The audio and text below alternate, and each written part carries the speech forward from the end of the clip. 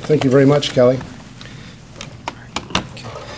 Um, So everyone wants to know about the ferry, Alaska Class Ferry, and I thought I'd come and, and uh, accepted the invite from Kathy and, and uh, thought we'd talk about it a little bit. And, and uh, putting together the information, it, it's, it's kind of in storybook form. But We have to go back a little bit and talk about how the genesis of the project and how it, how it developed and how it changed, and then, and then how we uh, hit the reset button and changed it back. So uh, the, the first thing I want to talk about is, is the ferries. I think everyone knows we have 11, 11 vessels in the fleet.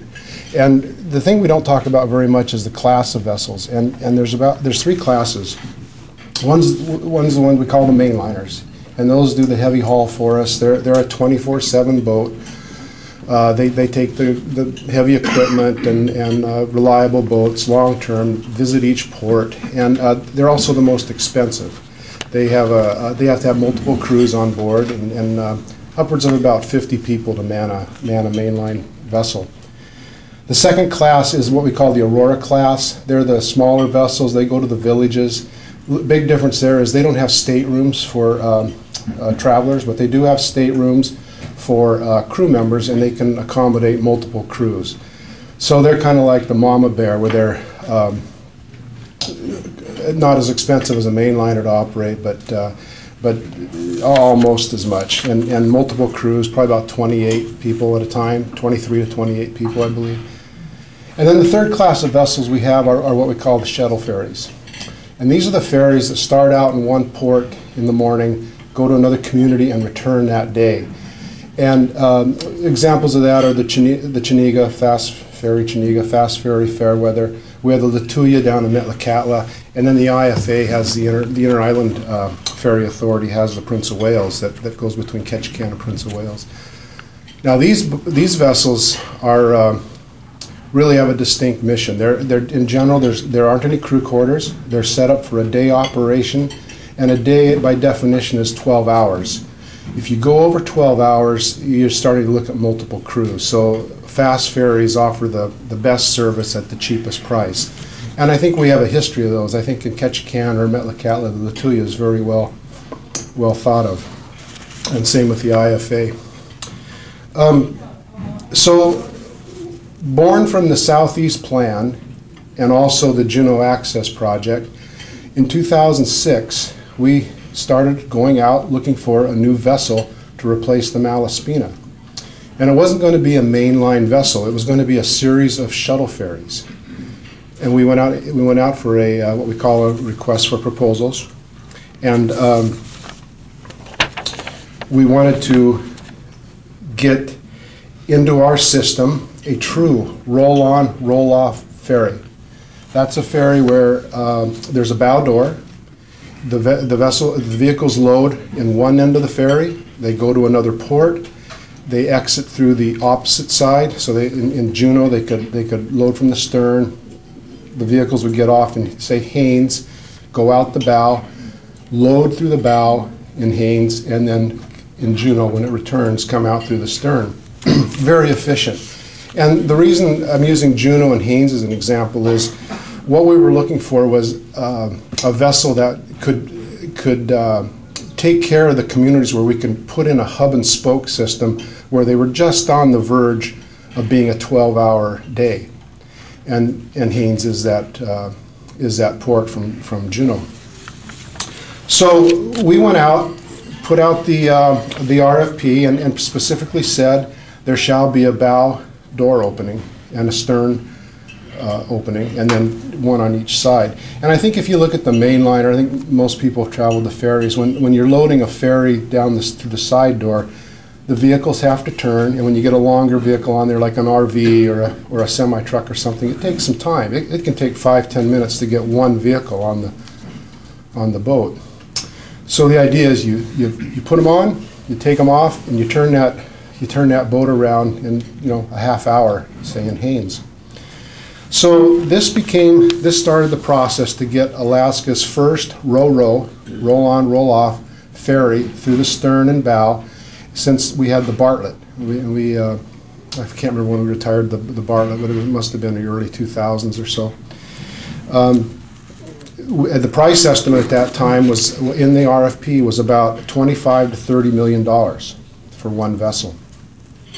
We hired a naval architect firm, Elliott Bay Design Group, and they began work on the, on the project. But as the project took over and uh, we started going through the, you know, the public involvement process and the things started getting tweaked, subtle changes happened to the vessel. The bow door came off. When the bow door came off, we lost the row-row. We lost the efficiency we were looking for. That was the number one issue.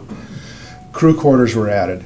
Well, when we added crew quarters, we lost the, um, the emphasis to make it a day boat. It could turn into more than a day boat with multiple crews and another expensive uh, ferry. The length increased to 350 feet. And then more importantly, I guess the most important thing is the, the price estimate went up to $120 million. And this all happened under the, the watch of the department. I'm not exactly sure of uh, all the factors that went into it, but it was just one of those things that people were brought along, and, and, and that's just how the uh, how the ferry developed. Um, in 2010, the legislature, through mostly Senator Stedman, I believe, appropriated 60 million dollars for the ferry, and the following year, another 50 million dollar or 60 million dollars came in. So we did have the money in hand to build the build the vessel, and we used state funds. And the reason we used state funds was that gave us a little more, more flexibility with building the ship. It was the governor's and legislators' intent to build that vessel in Ketchikan at the Ketchikan shipyard. We are going to get jobs out of the deal, and it was just a good thing all the way around, rather than rather than building it on the on the Gulf Coast. In parallel with this, in 2007, Commissioner von Scheben went to the University of Alaska Fairbanks, Dr. Paul Metz, and commissioned a, uh, oh, what they call it, a uh, Marine Highway Systems Analysis, I think was the title of it. And uh, they worked on that. That was, that was released in 2011. And what that basically said was, hey, what you're getting isn't going to improve the efficiency of the marine highway system. If you replace the Malaspina with an ACF, an Alaska class ferry in Lynn Canal, you, you aren't getting any benefit out of it. And then it further went on and it said if you replace two mainline ferries, the Taku and the Malaspina, with three Alaska class ferries, you're getting marginal, a marginal increase in uh, service and efficiency, but at a price of about $7 million more annually.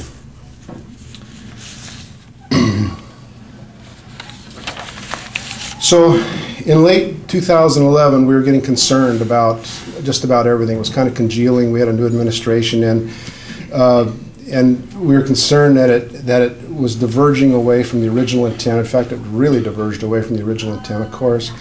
But the rumor started coming in from the shipyard and from others that the, the cost was going to exceed 120 million dollars. And um, so the department was concerned at that time, fully a year ago, we were scratching our heads with this vessel. Didn't have enough information though to really, really make a, any kind of a move. We did uh, enter into a contract with the with the shipyard in Ketchikan in April, and we're under what we call a CMGC procurement. That's where you have a consultant designing the vessel, but you bring the shipyard in early, and the shipyard has a hand in the design, and and you, you save costs and you build efficiencies and you re reduce your risk of, uh, of, of, overruns and, and things like that. So finally, in the fall of 2012, we'd reached a point where we could get accurate estimates on the new vessel. And those estimates far exceeded 120 million. We were up uh, around 150 to 167 million. We, we got an estimate from the consultant, we got an estimate from the shipyard. And we knew that um, you just couldn't lop feet off the Alaska class ferry and save that much money. You know, you have to have the same engine in it. You have to have a door. You know, things like that. So we were we were in a predicament. So at that time, we were faced with a with a vessel that didn't meet the original intent of a shuttle ferry, roll on, roll off efficiency. We had a university study that was dubious about the the efficiency of a boat and the cost of, of the new boat we'd gone to and then we were far over the estimate. We took that information to the governor, and the governor said, Boy, take a close look at this, come into some recommendations, and, and we did that. went back to the governor and he said, we've got to hit the reset button with this. That's, a, that's a, kind of what we've been saying, is hitting the reset button and, and take a good look at what we have done, how the project had morphed so much and, and what we can do about it. And what we came back with was we need to go back to the original concept. We need to go and get a highly efficient roll-on, roll-off vessel.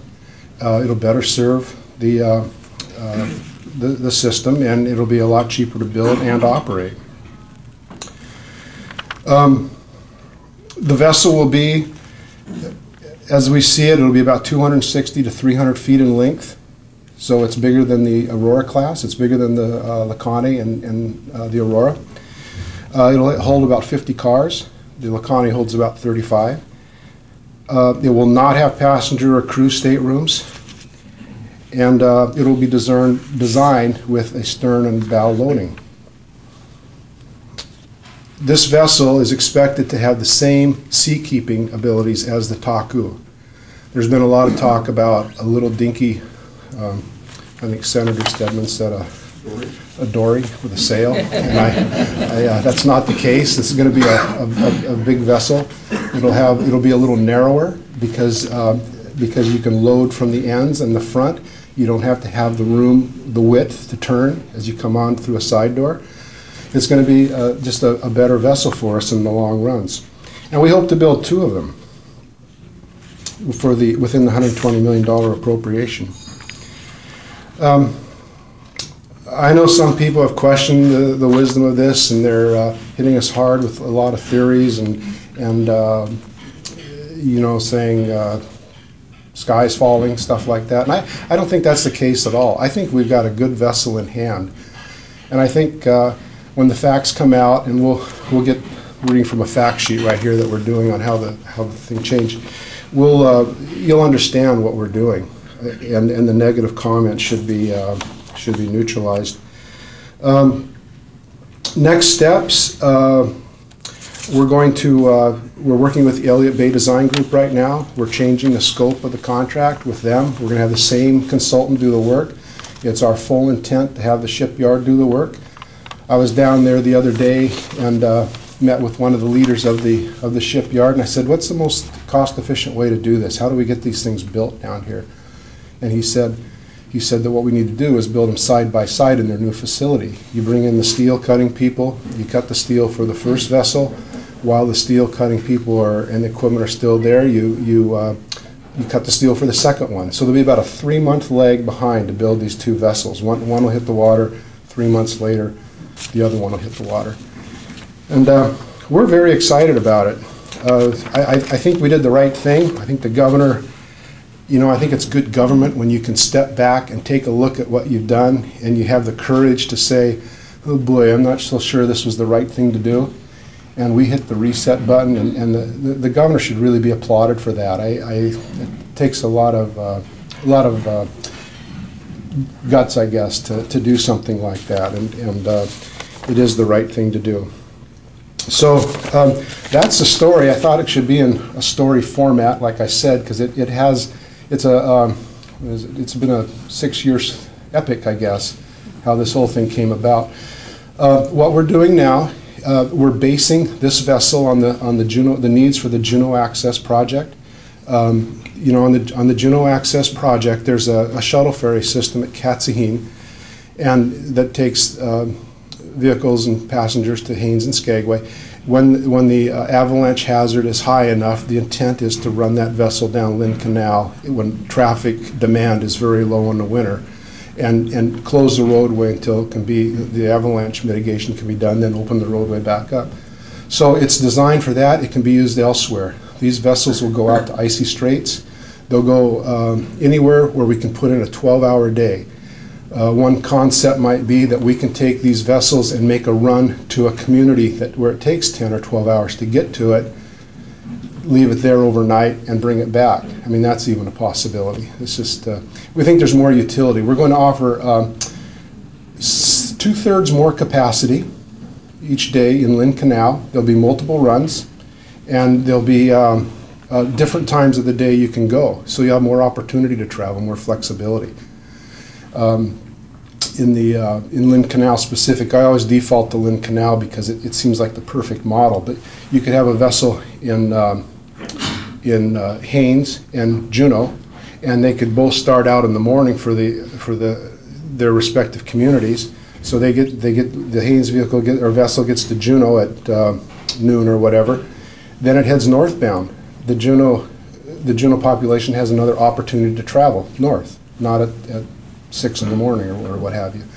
So I, I- I think there's a lot of flexibility, and uh, I'm, I'm just positive we did the right thing. So, thank you. All right, I'm sure we've got some questions, Mr. Kemp out there.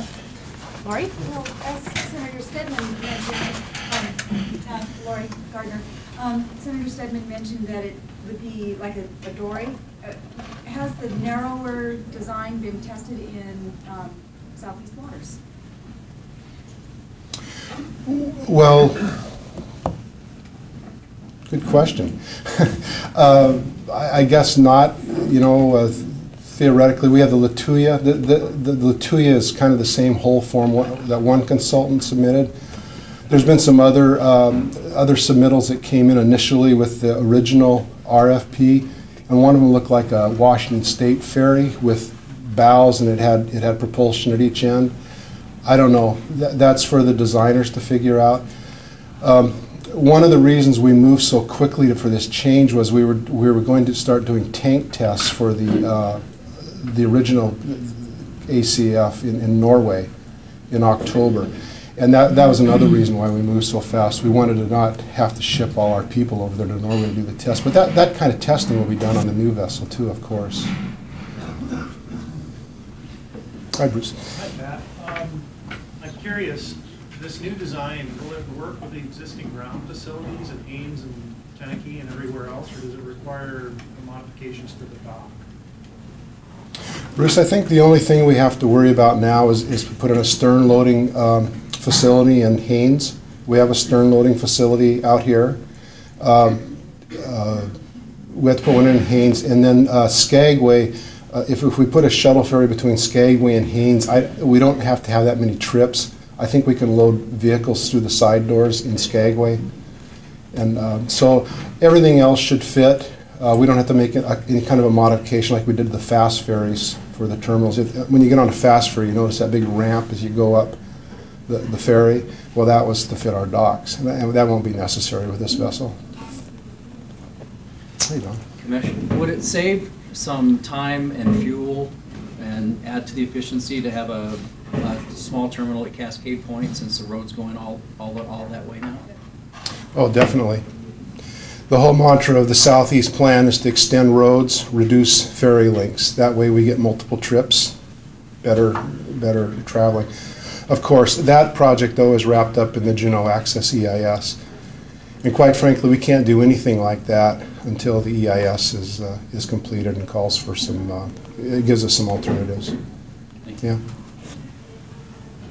Yeah. So, on my way to work this morning, I was listening to the report about the Director litigation that's going on down at the Dimond Courthouse. And knowing you were speaking today, I just couldn't help but wonder, has this reset uh, made it less likely there's going to be litigation with Elliott Bay? And is there any sort of a sense that they did anything wrong as the naval architects for the state that led to where we are now? Or is, is, is- do you think litigation will be avoided? And you may not be able to comment, but I I couldn't help but wonder. No, absolutely not, Ben. We, we led them down the path. We, we, we just went this way. And, uh, uh, no, they're, they're on board and they're doing a good job for us and, and uh, I know we can turn this thing around. And I'm pretty certain that we will have vessels in the water under the same time frame that we would have had them under the original concept. Smaller, easier to build, faster to build. So, yeah. Hey, Jim. Pat, um, since it's being designed for the Lynn Canal run, and those of us that live on and work on the water know how rough the water is, I would suspect if it's designed for that piece of water, it can go anywhere in southeast Alaska and be safe. That's a statement. You know, I, um, I said the same thing the other day to somebody, I can't remember who it was, but, yeah, right, if we can get it through Lynn Canal, I think we can get it through anything. I, I'm not a seafarer though, but that's, um, it's kind of funny, on the trip back from Ketchikan with the governor, uh, it was a couple of days after LeConte went to Haines and everyone was having motion sickness problems. And, and I looked down and there was LeConte coming up uh, uh, either Stephens, Pa- uh, Stephens Passage. And uh, I wouldn't want to have been on that boat. yeah. Hey, Kathy. Yeah, if if I can, I just, um, I've had the opportunity to follow this whole thing since early 2007, when I was appointed to the Marine Transportation Advisory Board. And we, the the MTAB board originally um, made the recommendation to the legislature and the governor to start a vessel replacement fund. It had been talked about before, but we made that recommendation. And that recommendation, we recommended that money go towards building a shuttle slash day boat type ferry. And over the last six years, I've watched this whole project morph into this huge vote. I mean, people, there was so much public comment, and every time DOT would give us a presentation and show us the plans for this Alaska Class ferry, it kept getting bigger, and it had more amenities, it had, you know, originally there was gonna be any staterooms, and then there was crew quarters, and then there was sick rooms, and then there was rooms for the elderly, and all those things, of course, we want all that stuff, but what we're trying to do is save money in our, for our marine highway. The whole state pays so much for this public transportation method we have. And when the governor announced that, I was so pleased because we're finally, somebody finally said, wait a minute, and they're taking it back to what the original plan was. It's- This is to save money and to improve our infrastructure in southeast Alaska. And that's what he did. He pulled it back and I think it's, I think they couldn't have done anything better. I just wanted to say. Yes, uh, Commissioner, would you be able to stay in your car like a traditional roll-on roll ferry? And what's the estimated speed this ferry would have? You know, when I was a kid, first first riding the ferries, I don't know, probably some of the older people here remember, we used to be able to stay in your car, sleep in your car. We were all bummed out when that went away.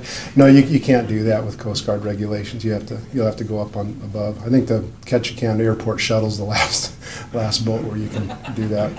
On uh, what was the other question? Uh, Uh, Estimated speed, Right, the engineers will figure that out. In, in the original, uh, the original RFP, I believe they had a, there's a, a sprint speed and a uh, cruise speed.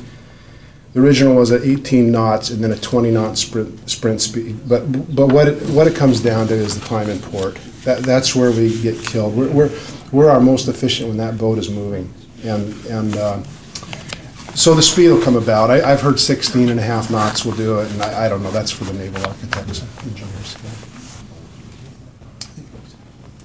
There's a Brad Fluetsch, Alaska Internet Network.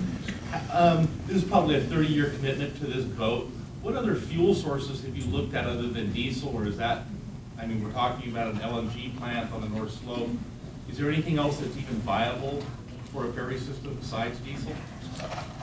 Brad, that's really for the engineers. I, I don't, I'm not sure. I, we got one guy here that says a sail will work, so. uh, I don't know.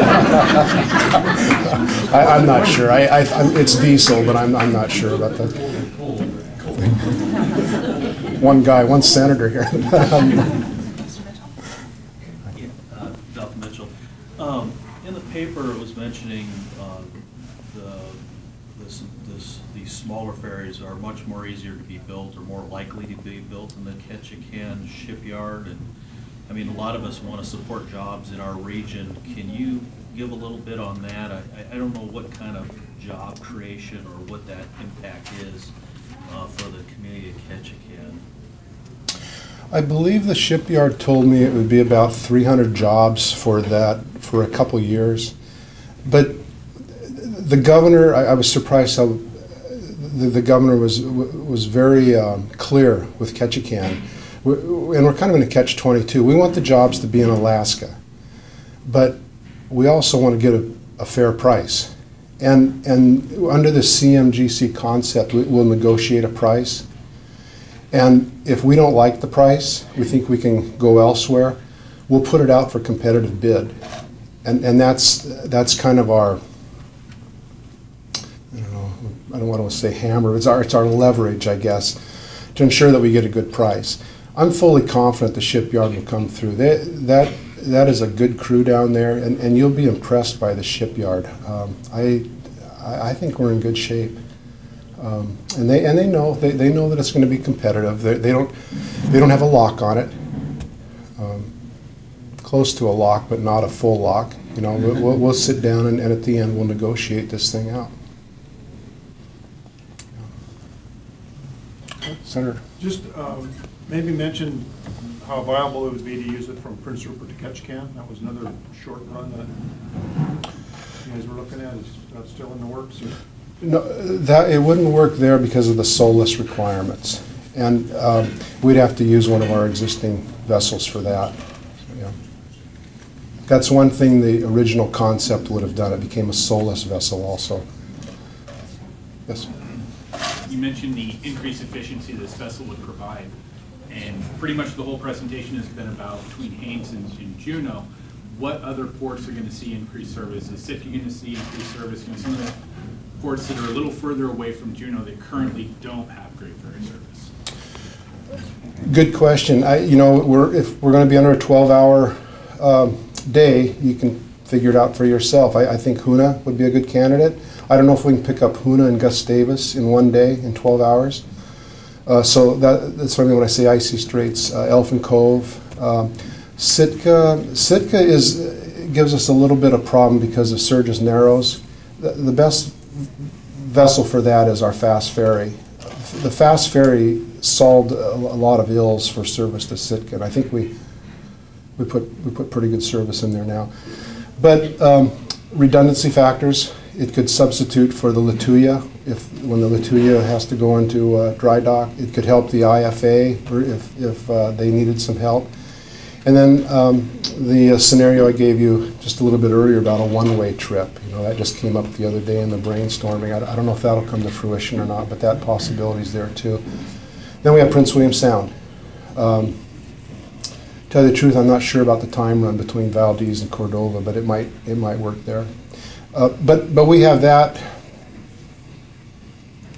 I can't remember if that if we're using the Aurora as a shuttle ferry up there or not right now. But but we I think we can do that with a shuttle ferry in that in Prince William Sound. Hey Bruce. Uh, can you explain what SOLAS means? It's a safety of life at sea. It's uh, it's it's uh, requirements we have to match. Fire keeping requirements and safety requirements. It, it was just a big deal to us 10, 15 years ago where we had to bring all our ships up to SOLAS capability that, that went through Prince Rupert.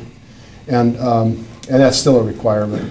And, uh, and it's costly, and there's a lot of training with it. It's just another thing you have to do to maintain a good system. If I could just, what you were talking about with other ports get more service, the- what they would, what those shuttle boats would do, those day boats, would allow the other ferries to service other ports more often, and that's what we're trying to do, is Sitka doesn't get enough, and when, you know, the fast ferry can't go there, then it takes forever to get to the outside of Sitka, so it just frees up the bigger ships to do those longer runs. And, and one thing I might add, this does not eliminate the, uh, the mainliner run. This supplements the mainliner. The Big Blue is still gonna be running up the canal until we can get that road in place. So, Yeah. Carl? Uh, What does it look like, what's the schedule look like for replacing the other uh, older vessels? And what is the configuration to replace them? The existing mainliners? Well, first off, we hope to, ex- we hope to replace mainliners with this class of shuttle ferries. How many we can really replace, not known. One for sure, maybe two. We're always gonna need mainliners. They're always gonna go from Bellingham out the chain. Um, The one thing, uh, I'll speak cautiously to this, is the Ketchikan shipyard has, has helped the marine highway system quite a bit since since they've been getting a lot of our work. And, and one of the one of the things that appears to me is, is I think we're getting more confidence in our ability to keep our mainliners running. Um, we have a shipyard right next door. We're confident in them, uh, and and I, I'm getting that from Captain Falvey. We, we've actually talked about that quite a bit because 15 years ago, you know, the Malaspina was dead. We had to replace it. We had to get the Kennicott. Well, we got the Kennicott, and the Malaspina is still chugging up and down the, the system. So I, I, I think there's been a paradigm shift with, with our thoughts on the mainliners. I mean, they can't last forever, but I, I think we, I think they can last a little bit longer. Our next immediate concern, though, is, is probably the uh, Tustumena. Uh, That's an ocean-going vessel. It's been, uh, it's been taking the roughest water for 45 years, and I think we're kind of eyeballing that as the next big uh, uh, capital investment for us. Um, What type of infrastructure upgrades are you guys looking at around Auk Bay? Because right now you've got uh, ability to three ships in at a time, and you've got the stern load for the fast ferry. But with these other, these other ships, they're gonna be stern loaded as well. So what happens to that, but when it's, when these other ones are in? And I've been out there lots of times where it seems like the facility, Auk Bay facility's kind of at its maximum with three boats in at a time. Yeah, there'll have to be some kind of a shuffle in the morning. Uh, Obviously, two stern boats, or two, two bow stern loading boats couldn't be in the, in the, uh, the fast ferry terminal right now. One will have to be alongside the main dock, and then, and then they'll have to do a shuffle in the morning. I don't see any real other improvements out at Auk Bay. I think we're maxed out there with our neighbors. Um, So, I- I- we'll we'll just, our operations people will take care of that, I'm sure. Hey, John? What's the status the environmental analysis or impact statement on the long dreamed of road to Skagway? Okay, uh, this change will, will delay that project a little bit, probably delay it about a month, maybe two months. We were looking at putting out a draft EIS in, uh, I think it was February or March, and it- it'll probably be March or April now. Um, uh, Because because we have to write this, this particular vessel into the plan for the different options um, versus the previous ACF. So, um, let's see, take a little bit further. So we'll have a record of decision probably, uh, maybe January of, uh, well, probably a year from now, 2013, early, early two- 2014, I guess, be a good approximation. And was that the EIS you were talking about that would allow Cascade Point to be developed? Yes. Jesse?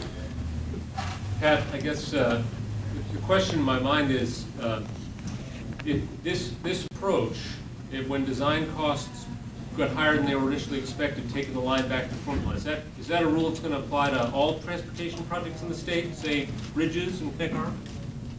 Well, you know, it's, a- it's a little bit different, uh, oh, Knik Arm, KABATA? That's real different. That, that- that's, uh, that's a whole different animal with the bonding and, and stuff. Uh, I take it to mean the, the regular federal aid program. Yeah, that, that's, uh, you know, at one time I described this, this morphing of this Alaska-class ferry as, as what happens to us with highways. We go out to a public meeting on a highway, uh, and all of a sudden, people want sidewalks on both sides of the road. They want, they want four lanes, they want separated bike paths, they want lighting, they want all these different things. And pretty soon, your project is so expensive, you can't do everything. So you end up building a little section. And the difference with federal aid is, is there's this bucket of money out there that we get each year, almost a half billion dollars. And, and we can do that with those types of projects. We, we can, we can add money to those projects. If this was a federal project, theoretically, we could add money to this project. We'd have to delay another project. One in Juneau might be delayed for one in uh, Petersburg or Sitka or something. But um, with this, with this project, we had $120 million, and the governor, quite frankly, didn't want to go back for more. We, we were on a mission at the beginning, and we lost our focus, and uh, we hit the reset button. So a little bit different animal. And maybe Kathy can answer this one too, but with, with the increase in the fleet, is there some thought, you know, you mentioned basing the boat possibly out of Haines and having them cross paths. Are any of the other small communities possibly gonna benefit from this? Like Hoonah, you know, has an economy that would be improved by having a ferry base there. Uh, Sitka as well, you know, and, and when the fast ferries were first introduced, there had been talk of basing fast ferries in other ports.